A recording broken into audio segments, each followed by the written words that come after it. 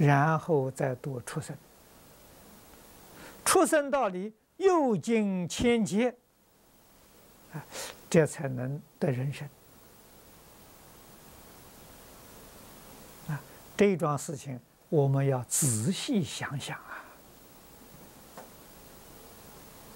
所以做错事情啊，受的这个果报，将来再得人生，你你看看这个多久？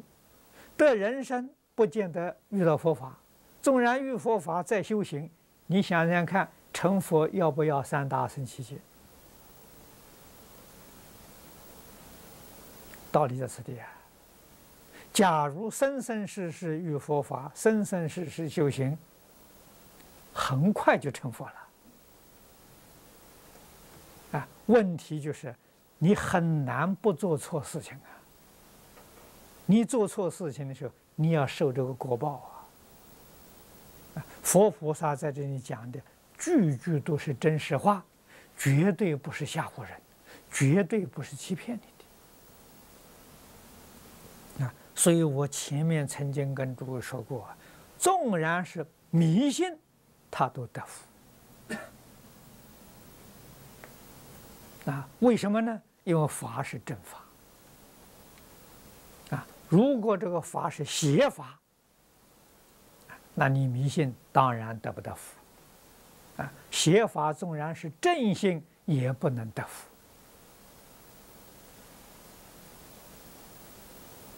啊，所以你一定啊要了解这法的本质啊，纯正无邪。能令一切众生成无上道啊！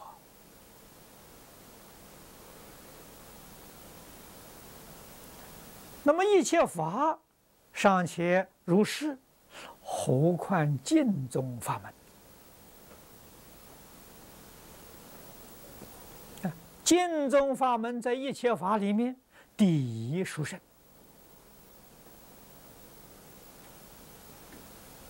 啊，他为什么第一殊胜呢？他能令一切众生平等成佛，这还得了吗？任何法门里头没有办法令众生平等成佛啊！啊，净宗是平等成佛啊！那毁谤净宗、障碍净宗，那个罪过比这个又不知道要深多少倍了，这一定道理嘛？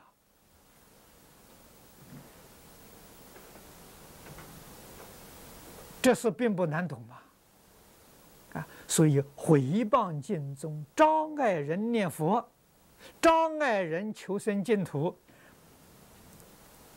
要比这个罪呀，又不晓得要加多少千倍、多少万倍，啊，不是一倍、两倍、十倍来算的，不是啊，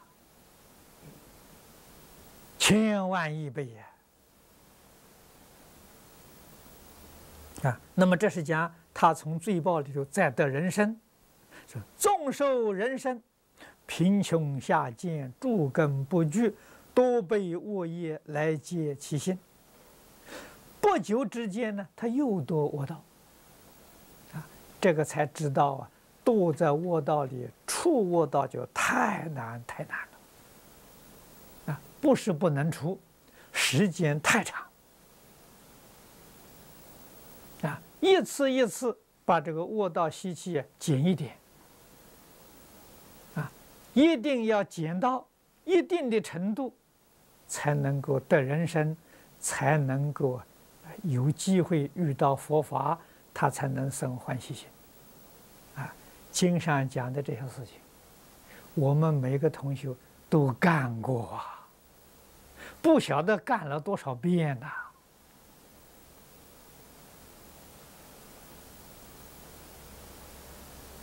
所以我们在《无量寿经》上看到，阿舍王子这一帮人，佛讲了，过去生中曾经供养四百亿佛。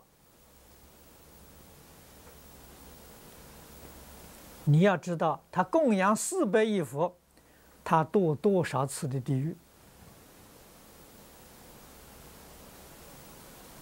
如果他没有干过这些罪报，这些事情供养四百亿佛，给诸位说，供养四尊佛，他准成佛了。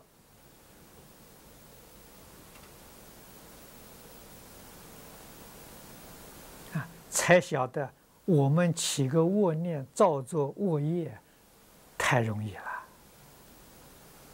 啊，为什么会干这个事情呢？阿赖耶识的含藏无量界的业系种子。啊，外面遇到这个呃这些事，稍稍有一点不如意，那个恶念头就起来了。啊，回谤这个事情，他就干出来了。啊，造作这些恶这个重业，哪有不堕地狱的道理？啊，要想不堕地狱，行啊，赶紧忏悔。啊趁你现在一口气还没断的时候，还来得及。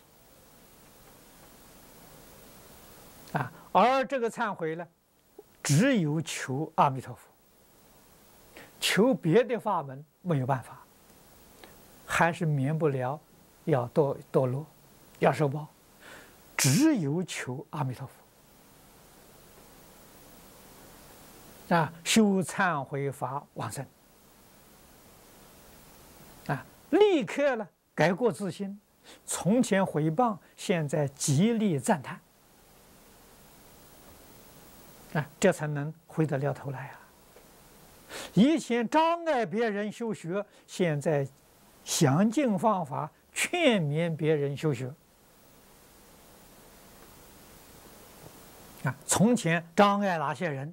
现在把那些人找来，向他求忏悔。我以前错了，现在赶紧认真努力修学，这才行啊！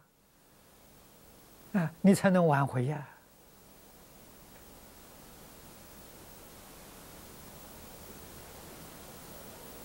啊，如果障碍的人太多了，这个麻烦事情就大了。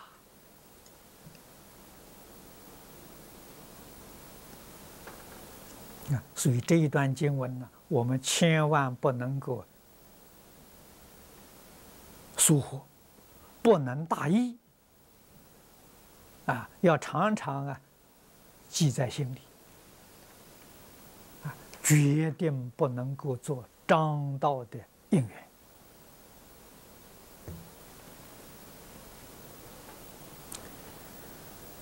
再看下面一段经文，是故普广普广啊。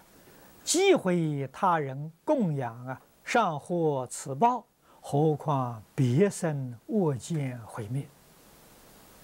啊，这是说个轻的，啊，这是障碍别人呢修供养啊，啊，都得这么重的果报。如果再是恶意。啊，嗔恚心、恶心，来造毁灭佛法，那个罪就更重。